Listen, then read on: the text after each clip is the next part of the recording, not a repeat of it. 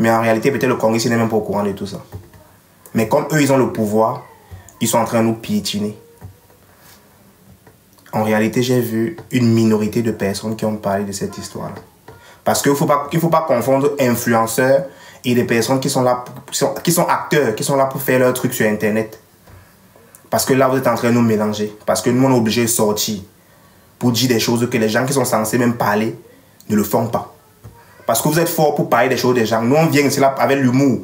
On vient essayer de taquiner les gens dans notre humour. Mais on n'est pas influenceur. Moi, je suis très loin d'être un influenceur. Parce que moi, je ne parle pas les choses des gens. Je viens rire, je viens me moquer des gens. Les Camerounais, non. On est des peureux. Parce que nous, on est trop fiers. Quand on voit un Camerounais, quand il se lève, il dit que non, moi, je suis Camerounais, on est, on est bon partout, dans tous les domaines, on est meilleur partout. Mais en réalité, non. Nous, les Camerounais, on est les peureux. On est les Français, nous dans la cage. Quand on dit même que chez nous, l'homme le plus fort du monde, c'est trop faux. On n'a pas l'homme le plus fort du monde chez nous. On a des tapettes chez nous. Mais il faut vraiment qu'on arrête ça. Il faut vraiment qu'on arrête ça. Nous, les jeunes aujourd'hui, on commet beaucoup d'erreurs. Hein. On fait des choses sur Internet, on bavarde, on raconte, on critique, on fait ci, on fait ça. Voir un jeune comme moi, assis quelque part en train de, on est en train de le fouetter. Les gens peuvent normaliser même le fait qu'on est en train de me fouetter. Parce que je suis jeune. On va dire qu'il commet des erreurs. Ok, c'est un jeune. Il doit apprendre. Ma mère peut même venir dire que fouettez-le encore même. Pour qu'il rase ses locks là, pour que sa barbe, elle enlève ça. Parce que je suis jeune. Il y en a plusieurs qui font les choses comme ça sur Internet. Parce qu'on commet des erreurs. On doit apprendre. Mais franchement, fouetter un papa comme ça là, fouetter un père de famille comme ça là devant les gens et filmer. Et qu'on balance la, la vidéo va nous trouver. Parce que si on n'a même pas vu la vidéo, on peut comprendre que, nous, on n'a pas vu la vidéo. On a seulement appris qu'on a fouetté quelqu'un. Mais nous, on est en train de voir la vidéo et que les gens n'en parlent pas les influenceurs, les artistes, les sportifs, tout ça. En fait, personne n'en parle. On doit rester dans le silence. Mais franchement, vous pensez qu'on va libérer le Cameroun comme ça Vous pensez vraiment que c'est comme ça que le Cameroun va se libérer? Parce que quand les gens vont se lever, vont partir du pays, on va dire que non, vous êtes en train d'encourager les gens à partir du pays.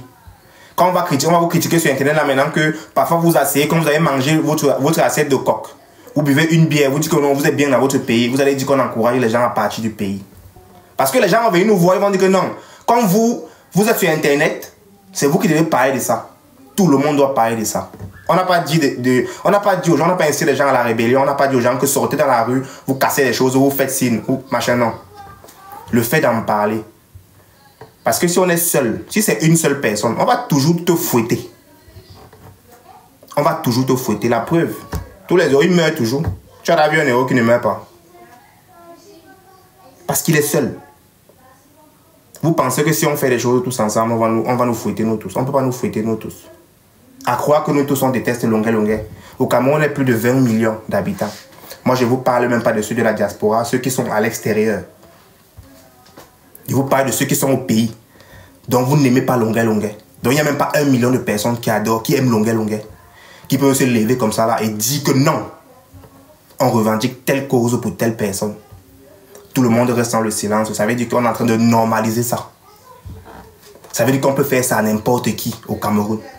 Ça veut dire qu'on peut mettre même Samuel Leto sur le tatami, on commence à fouetter Samuel Leto, tout le monde va rester tranquille. En réalité, nous les Camerounais, on est les tapettes. On ne vaut absolument rien.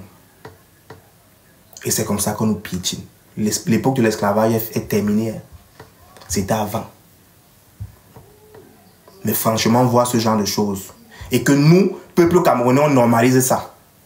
Franchement, il faut arrêter. Passons à notre slogan, hein, comme je dis toujours, que je veux voir mes enfants grandir. Vous pensez que c'est comme ça qu'on va libérer le pays? Vous pensez que les pays africains qui, qui ont, qui, ont, qui ont sorti leur pays de la merde. C'est comme ça qu'ils ils ont, ils sont restés et dit que non, faut que moi, je dois voir mes enfants grandir. Parce qu'au Cameroun, c'est que chacun, c'est chacun pour soi, Dieu le pousse. Chacun sa culture, chacun ses problèmes. Si le Bamileka a son problème là-bas, l'autre, le, le, l'autre, non, ce n'est pas son problème, ça ne le regarde pas. Chacun sa merde. Ça, c'est nous les Camerounais. Mais si on vient insulter le Cameroun, que non, chez vous, il n'y a pas les routes. Chez vous, il n'y a pas le péage, il n'y a pas ci, il n'y a pas ça. Tous les Camerounais vont se lever. J'ai vu les gens manifester ici pour le bâton de manioc. Ça veut dire que le, le bobo est mieux que l'ongé l'ongé. Le bâton de manioc que vous mangez, qui n'a aucune vitamine, zéro vitamine.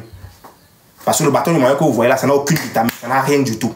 Donc ça veut dire que le bâton de manioc est mieux que l'ongé l'ongé.